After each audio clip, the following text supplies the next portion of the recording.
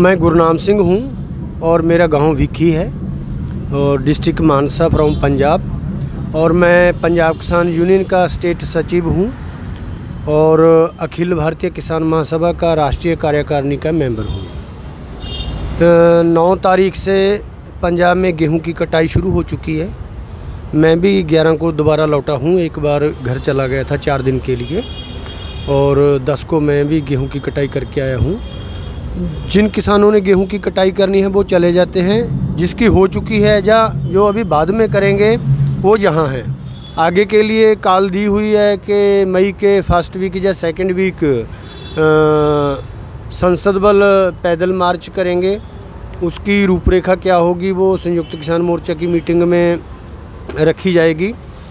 लेकिन इसके अलावा ये जो आंदोलन पूरी दुनिया भर में फैल रहा है और फैल चुका है तो हम लोगों ने लोगों को बोला है कि ये जो बीजेपी वाले हैं इनका राजनीतिक और सामाजिक बाइकाट करें। तो लोगों ने शुरू कर दिया है।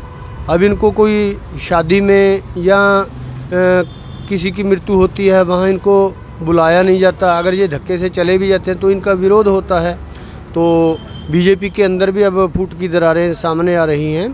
तो मोदी क्योंकि कारपोरेटों के हाथों में खेल रहा है तो उसको पता है कि ये कानून गड़बड़ी वाले हैं, ये देश को बर्बाद करने वाले हैं। लेकिन वो आरएसएस के एजेंडे को लागू करना चाहते हैं, लोग समझ चुके हैं। जितने दुनिया भर में लघु उद्योग हैं, किसानों के पास ज़मीनें हैं, लघु उद्योग को ख़त्म करने के लिए और कारपोरेटों को उनकी मनोपली बनाने के लिए ये कानून बन रहे हैं। इसीलिए वो ज़मीन छीनना चाहते हैं, किसानों को पता लग चुका है, क्योंकि किसान के पास समय है। सर्दियों में हमने सिर्फ़ गेहूँ को पानी लगाना था, पानी देना था। तो एक दूसरे ने, एक दूसरे के खेत में काम कर दिया। चार, साढ़े चार महीने हम बैठे रहे यहाँ। हमारे घर में दूध भी है, हमारे घर में गेहूँ भी है, सब्ज़ी भी है। हमारे पास समय भी था, हम बैठ सकते हैं। दिल्ली के लोगों को तो हम यही कहना चाहेंगे, कह भी रहे हैं पहले से संयुक्त मोर्चा की तरफ़ से, कि ये जो आंदोलन है ये आंदोलन करना हमारी मजबूरी है हमारा कोई शौक़ नहीं है। हम भी चाहते हैं कि हम अपने बाल बच्चों में रहें हम अपने घर में रहें लेकिन रोड पर आना आ, कोई सौखी बात नहीं है बहुत कठिन है।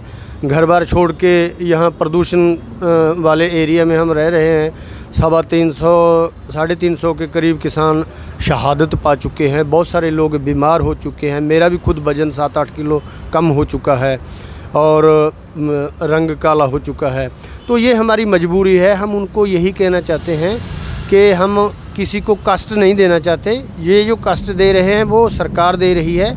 इसी ने बैरिकेड लगाए हैं। हमारे लिए तो एंबुलेंस जाने के लिए, फायर ब्रिगेड जाने के लिए रास्ते खुले हुए हैं। जो बंद किया है। वो सेंटर सरकार की तरफ़ से वो पुलिस ने बंद किया हो, चाहे वो बॉल खड़ी करी हो, चाहे वो कांटेदार तार लगाई हो, चाहे टीले खड़े हो, चाहे बड़े बड़े ट्रेनर खड़ाए हों, खड़े किए हों, चाहे कहीं खाई खोदी हो, चाहे मिट्टी के टीले चिने हों, ये तो सरकार अनुशासन तोड़ रही है कि किसान आगे नहीं जाएँगे, ना मारपीट करेंगे। हमारा शांतिपूर्वक आंदोलन है। इसका पूरे दिल्ली निवासी, पूरे देश निवासी, पूरी दुनिया के लोग हमारे साथ खड़े हों।